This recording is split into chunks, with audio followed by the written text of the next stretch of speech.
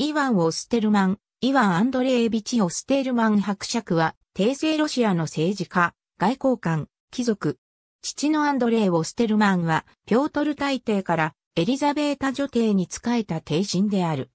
ロシア帝国親衛隊、ロシア軍に勤務し海外に派遣された。1757年、宮廷に外交官となって仕え、パリとストックホルムに駐在する。スウェーデンでは、スウェーデン国王グスタフ3世に対して大きな影響力を持った。1774年に元老院議員になっている。1781年外務大臣に任命された。しかし、この時期、アレクサンドル・ベズボロドコ、プラトン・ズーボフ、ヒョードル・ロスト・プーチンらの実力者の存在によって、オステールマンは、副次的な役割を演じるだけであった。